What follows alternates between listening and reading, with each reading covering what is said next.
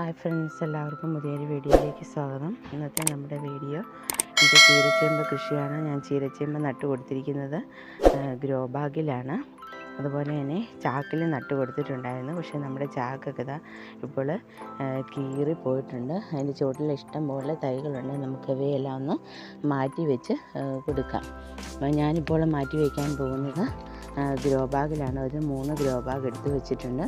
നമുക്ക് ഗ്രോ ബാഗിലാകുമ്പം രണ്ട് തൈകൾ കുഞ്ഞിതൊക്കെ ആണെങ്കിൽ ഒരു മൂന്ന് തൈകളൊക്കെ വെച്ച് കൊടുക്കാനായിട്ട് സാധിക്കുന്നതാണ്. എന്റെ ചാനൽ ആദ്യമായിട്ട് കാണുന്ന കൂട്ടുകാരുണ്ടെങ്കിൽ ഒന്ന് സബ്സ്ക്രൈബ് ചെയ്യാനായിട്ട് മറന്നു പോകരുത്. അതുപോലെ തന്നെ വീഡിയോസ് ഇഷ്ടപ്പെട്ടുവെങ്കിൽ ഒരു ലൈക്ക് ചെയ്യാനും ഷെയർ ചെയ്യാനും കമന്റ് ചെയ്യാനും വിട്ടുപോകരുത്.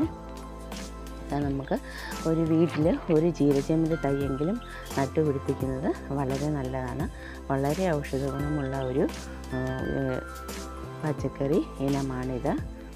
നമുക്ക് ചീരയിലൊക്കെ തോരൻ വെക്കുന്നത് പോലെ തന്നെ നമുക്ക് ഇതിന്റെ ഇലയും തണ്ടും എല്ലാം കൂടെ ഒരുമിച്ച് തോരൻ വെക്കാനായിട്ട് സാധിക്കുന്നതാണ്. അപ്പോൾ ഇല മാത്രമല്ല നമുക്കിതിന്റെ തണ്ടും കൂടെ കട്ട് ചെയ്തെടുത്തിട്ട് ഫുള്ള് മൊത്തം ചെറുതായി അരിഞ്ഞിട്ട് തോരൻ വെക്കുകയാണെങ്കിൽ വളരെ ടേസ്റ്റിയാണ്.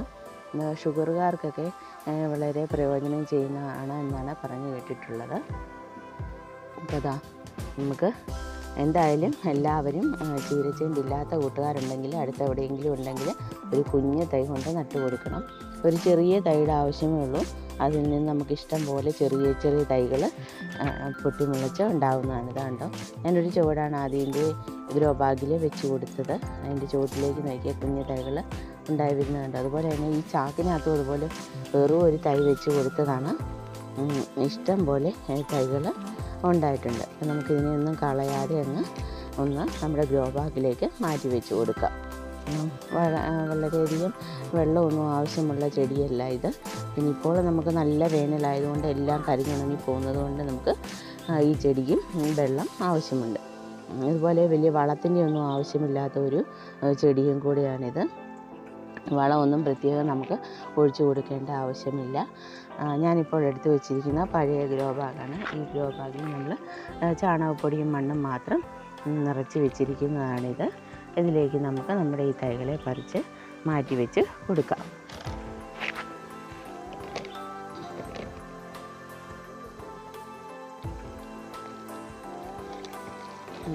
ഇഷ്ടംപോലെ വേരൊക്കെ ഉണ്ട്. ഇത് കണ്ടോ നമ്മളിങ്ങനെ അങ്ങ് നമ്മുടെ ഗ്രോ ബാഗിലേക്ക് വെച്ച് കൊടുത്താൽ മതി.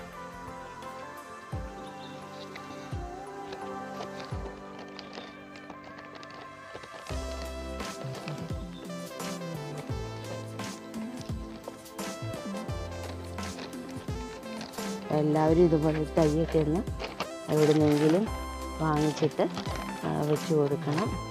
വളരെ ആരോഗ്യ ഗുണമുള്ള ഒരു ചെടിയാണിത് നമുക്ക് ഗ്രോ ബാഗിൽ രണ്ടെണ്ണം വയ്ക്കാൻ സാധിക്കുന്നതാണ്.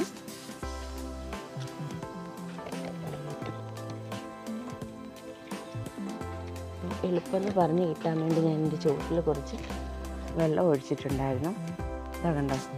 ഇഷ്ടംപോലെ വേര് കണ്ടോ? ഇത് വീണ്ടും ഇതിൽ നിന്ന് ചെറിയ ചെറിയ തൈകൾ പൊട്ടി മുളച്ച് വരുന്നതാണ്. ചീര തോരൻ വെക്കുന്ന പോലെ ഒന്നുമല്ല കേട്ടോ. വളരെ ടേസ്റ്റിയാണ് നമ്മുടെ ഈ ചീരച്ചേമ്പിന്റെ ഇലയും തണ്ടും എല്ലാം കൂടെ തോരൻ വെക്കുമ്പോൾ ഒരു കൂണിന്റെ ടേസ്റ്റാണ്.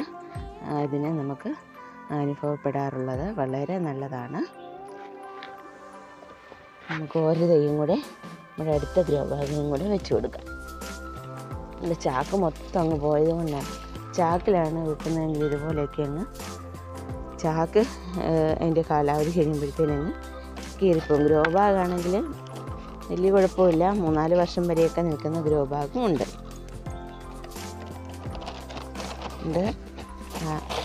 ഇത്തിരി വളത്തിന്റെ ഒന്നും ആവശ്യമില്ലാത്ത ഒരു പച്ചക്കറി ഇനമാണ് എല്ലാ കൂട്ടുകാരും ഇതുപോലെ ഒരു ചേമ്പ് നമ്മുടെ വീട്ടിലും വെച്ച് പിടിപ്പിക്കണം.